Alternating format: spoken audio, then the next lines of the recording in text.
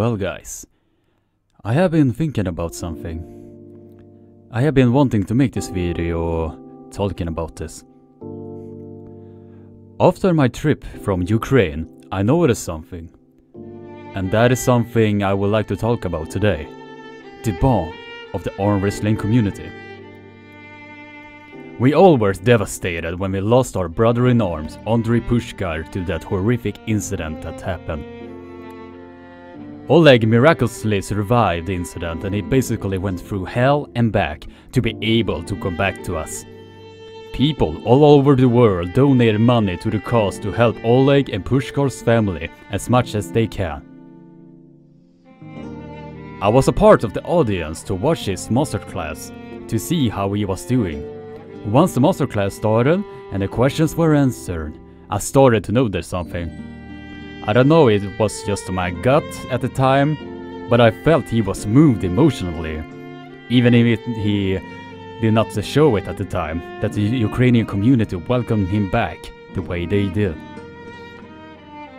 At that moment I knew, the Ukrainian arm wrestler and staff has this bond that only can be described as family. A tight, unbreakable family.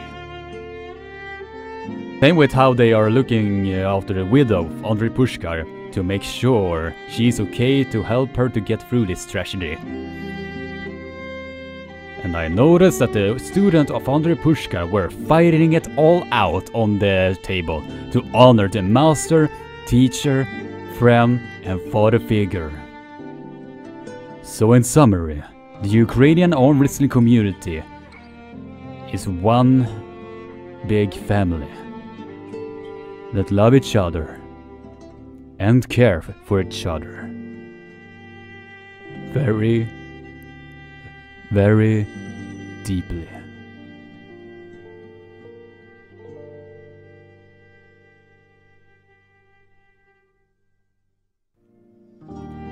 Hope you all like this video. It is something that I've been planning on making for a while now. The theme of this video is just to show that a small community such as arm wrestling can become your extended family and people come together when tragedies does happen. Hold on to your loved ones, blood or non-blood related. Tell that you appreciate them and that you love them. All of it can be taken away by the snap of the finger. And then it is gone forever. You never know when it will come to an end. I am Christian Wiklund, founder of Sweden Arm Wrestling Television. I wish you a good day and take care.